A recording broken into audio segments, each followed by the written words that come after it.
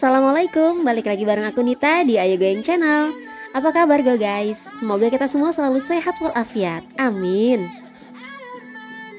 Balik lagi ke edisi Ngeresto Video ngeresto terakhir kemarin kan aku ke Lumbur Kuring Cimanggis ya Yang lokasinya ada di Depok.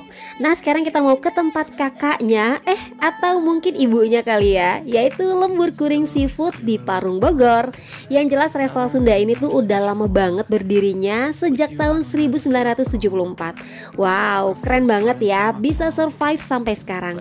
Udah ngelewatin pahit manis asam garamnya perkembangan zaman dengan bertahannya sampai sekarang, tandanya resto ini tuh emang baik kualitasnya dari segi pelayanan, menu makanan, rasa yang gak pernah berubah, malah makin ke sini tuh makin bagus aja fasilitasnya. Terus perbedaannya apa sih antara lembur kuring dan seafood yang ada di Parung Bogor ini dengan lembur kuring Cimanggis? Kalau yang aku rasain sih dari menu makanannya dua-duanya sama. Rasanya enak, porsinya banyak Dan harga yang masih dibilang affordable. Pilihan tempat duduknya juga sama, ada kursi dan lesehan. Bedanya di konsepnya aja sih Karena yang di Parung Bogor ini tuh udah jauh lebih lama berdirinya Jadi yang di sini lebih ke tradisionalnya Nah sekarang kita udah ada di Jalan Raya Parung Bogor. Dan Jalan Raya ini menjadi salah satu rute tujuan Bogor Yang dari Sawangan, Pondok Cabe, Tangerang dan sekitarnya. Dan karena kita dari arah Jakarta dan kebetulan posisi lembur kuringnya ada di sebelah kanan jalan Jadi kita mesti putar balik dulu ya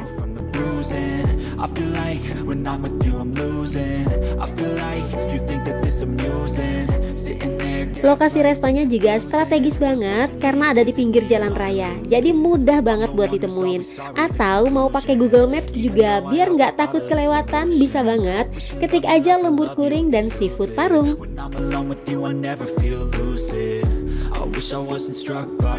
ini bukan lapangan ya guys, tapi ini adalah parkirannya. Jadi parkirannya tuh luas banget. Di pojok sana ada parkiran untuk motornya dan ini parkiran untuk mobilnya. Parkirannya luas banget, bisa menampung sampai ratusan mobil deh kayaknya. Soalnya luas banget sih. Terus di bagian depan sini ada ikon dua ikan ciri khas dari lembur kuring. Nah sebelum kita explore ke bagian dalam, kita review dulu yang ada di bagian luarnya yuk. Di sisi sebelah kiri yang langsung terhubung dengan parkiran mobil ada saung bundar namanya. Di sini modelnya lesehan, nuansanya tradisional banget dan interiornya juga dari bambu semua. Terdapat 4 set meja lesehan lengkap dengan bantalan duduknya.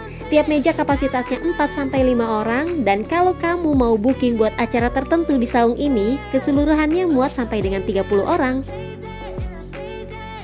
Di pojok belakang dari saung bundar ini terdapat mainan anak. Walaupun cuma ada dua permainan, tapi lumayan lah ya buat hiburan anak-anak. Melipir ke sisi sebelah kanan, di sini ada area toilet dan musola. Jadi untuk yang di lantai bawah ini posisi toiletnya ada di luar ya go guys. Di bagian depan terdapat wastafel dan cermin, lalu terdapat toilet pria dan wanita yang terpisah, Terus di dalamnya terdapat lagi wastafel dan empat kamar toilet. Walaupun gak wangi tapi bersih kok toiletnya.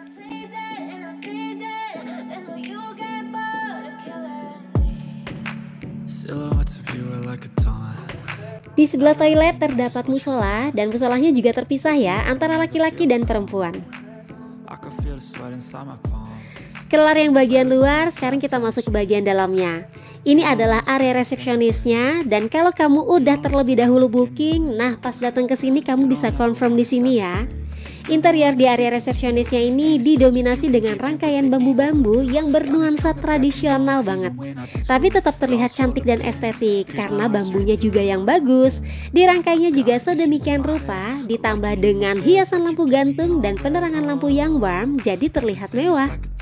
So better not text or I'll come off desperate But if I lay down and I play dead and I stay dead Baby you'll get sick of Untuk jam operasionalnya, Lembur Kuring dan Seafood Parung Bogor ini buka dari jam 10 pagi sampai jam 9 malam di weekday dan buka dari jam 10 pagi sampai jam 10 malam di weekend.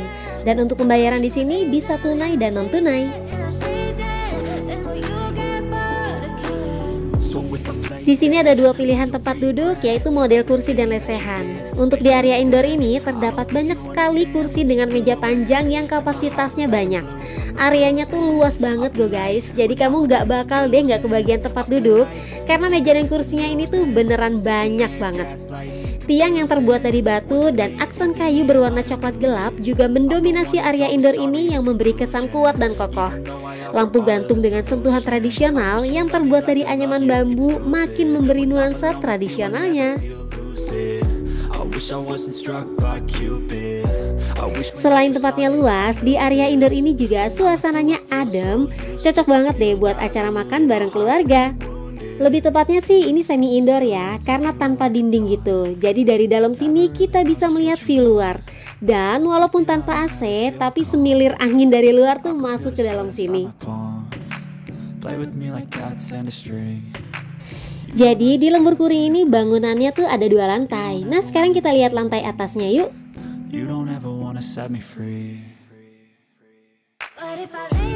Sama seperti yang di bawah, di lantai atas ini juga luas, luas banget malah. Di lantai atas ini juga terdapat banyak kursi dan meja. Selain itu, di lantai atas ini juga bisa dipergunain untuk acara-acara tertentu seperti lamaran, wedding, ulang tahun, arisan, reuni, meeting, dan lain-lain. Dekorasinya juga sama persis dengan yang di bawah, dan hiasan lampu gantungnya ini bikin suasana jadi estetik ya. Sama juga dengan yang di bawah ya, tanpa dinding, jadi pastinya adem dan dari sini juga kita bisa ngelihat view danau situ Lebak Wangi yang cakep banget. Di sini juga terdapat wastafel yang banyak, jadi kamu nggak usah khawatir tentang percuci tanganan. Selain itu, di lantai atas ini juga terdapat ballroom. Kita lihat ke dalam yuk. Ballroom ini dengan skat jadi bisa digunain per ruangan atau mau sekaligus besar seperti ini juga bisa yang pastinya sesuai kapasitas yang dibutuhkan. Untuk kapasitas seluruhnya sih muat dari 600 sampai 800 orangan. Ballroom ini bisa digunain juga buat acara-acara tertentu seperti wedding, meeting, gathering atau acara-acara yang berkapasitas besar lainnya. Dan untuk persewaan maupun booking atau reservasi tempat nanti nomor kontaknya aku cantumin di akhir video. Ballroom ini tuh full ruang tertutup ya, jadi sudah pastinya tersedia AC. Tapi walaupun ruang tertutup, dindingnya tuh full kaca gue guys. Jadi kalau ada acara yang membutuhkan area dalam dan luar ruangan, gorden-gorden ini bisa dibuka. Kalau aku bilang sih buat acara wedding oke okay banget deh.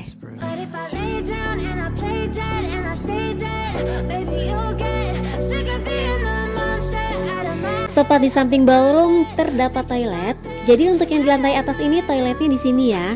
Toiletnya bersih, terdapat wastafel di bagian tengah dan kanan untuk laki-laki, kiri untuk wanita. Walaupun cuma ada dua kamar toilet, tapi tetap terpisah.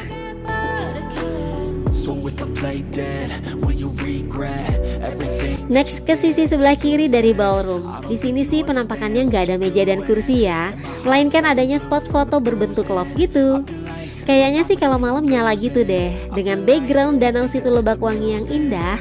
Ini beneran deh, situnya tuh bersih dan cantik. Apalagi banyak juga pepohonan rindang, jadi makin sejuk suasananya. Kelar bagian atas, sekarang balik lagi ke bawah. Nah ini dia tempat duduk terfavorit di sini yaitu saung-saungan. Di sini terdapat dua tipe saung. Yang pertama saung kolam yang posisinya tepat di pinggir area indoornya. Dikasih pembatas berbentuk kolam ikan, ya namanya juga saung kolam ya. Jadi saung ini posisinya tepat di pinggir kolam ikan. Selain kita bisa nikmatin hidangan di resto ini, kita juga bisa kasih makan ikan loh. Apalagi para anak-anak, pasti seneng banget deh. Ayah dan bundanya bisa leyeh-leyeh di saung, nah anaknya bisa kasih makan ikan.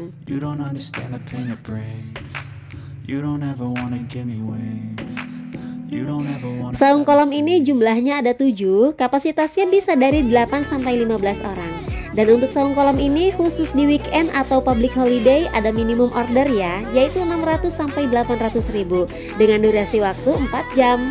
Dan kalau kamu mau nempatin saung ini di weekend, lebih baik reservasi terlebih dahulu.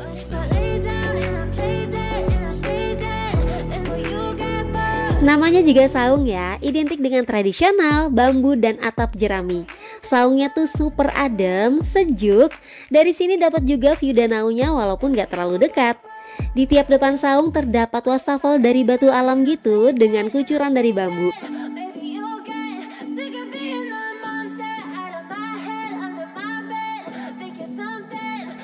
Next selanjutnya kita makin ke bagian pinggir Kita memasuki kawasan Saung Danau Dan Saung Danau ini posisinya emang beneran ada di atas danau Tapi di atas danaunya tuh bagian pinggir kok Sebelum kita review Saung Danau, aku lagi ngeliat ini ada di paling pinggir ada beberapa orang yang lagi mancing. Hmm, aku kurang tahu nih, apakah mereka pengunjung resto ini atau bukan. Yang jelas sih di sini bisa mancing juga.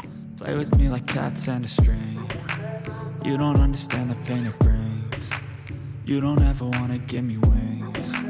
You don't ever wanna set me free. Jadi saung danau ini adalah saung terbaru dari lembur kuring dan seafood parung ini. Interior saungnya sama yaitu full terbuat dari bambu yang kokoh dengan atap jerami. Lalu bagian langit-langitnya terdapat lampu gantung dari anyaman bambu. Jumlah saung danau ini saat ini sih ada lima ya Dan next bakal ditambah lagi sih katanya Saung danau ini menjadi saung terfavorit di sini Karena dari saung ini view-nya tuh cakep banget Langsung menghadap ke Danau Setu Lebak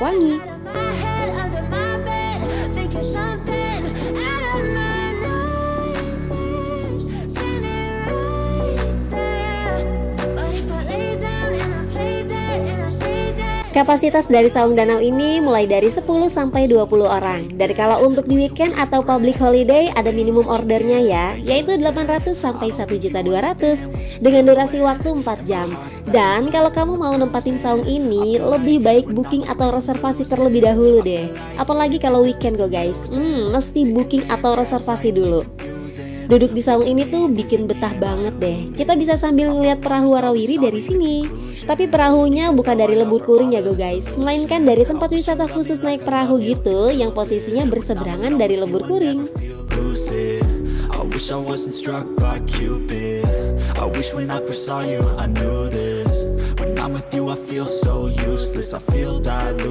Asik banget ya, bisa makan bareng keluarga di sini. Apalagi pilihan saungnya bisa sampai 20 orangan. Durasinya pun terbilang lama sampai 4 jam. Pokoknya merem-merem mah bisa lah. Pulas juga bisa karena angin di sini tuh sepoi-sepoi bikin mata ngantuk apalagi perut udah kenyang. Hmm, bawaannya tuh pengen rebahan aja. You don't ever wanna set me free. Untuk order makanan dan manggil pelayan, sistemnya dengan ketok-ketok kentongan kayak gini. Lucu ya? Dan di setiap saung juga udah tersedia colokan listrik buat ngecas handphone. Dan ini sih yang paling penting, ya kan? Nah ini dia pesanan kita udah datang. Semua karyawan di sini tuh ramah-ramah, mulai dari depan resepsionis sampai pelayannya juga ramah-ramah semua. Menu yang kita order ada nasi putih, tumis kangkung, cumi goreng tepung, bakwan jagung yang jumbo, ayam bakar dan persambelan. Terus ada juga gurame asam manis dan untuk penutupnya ada roti bakar dan es goyobot, juga es teh manis. Untuk rasa semuanya enak, porsinya juga banyak. Ikan gurame asam manisnya itu loh, mantep banget. Terus cumi goreng tepungnya juga nggak keras dan ayam bakarnya juga empuk. Terus bakwan jagungnya renyah dan ukurannya juga jumbo. Dan roti bakarnya itu loh coklatnya enak banget. Dan es goyobotnya segar banget. Overall enak semua recommended deh pokoknya. With you I don't ever feel calm. I can feel the sweat inside my palm Nah, berikut ini adalah menu-menu dari lembur kuring dan seafood parung. Di sini bukan cuma ada menu seafood aja ya, tapi menu daging juga ada, persayuran juga ada, minuman lengkap dari es sampai hot juga ada. Dessert pun juga tersedia. Lengkap deh pokoknya. Harganya juga terbilang affordable dengan fasilitas tempat yang enak kayak gini. Dan untuk kontak booking atau reservasi tempat, kamu bisa hubungin ke nomor ini.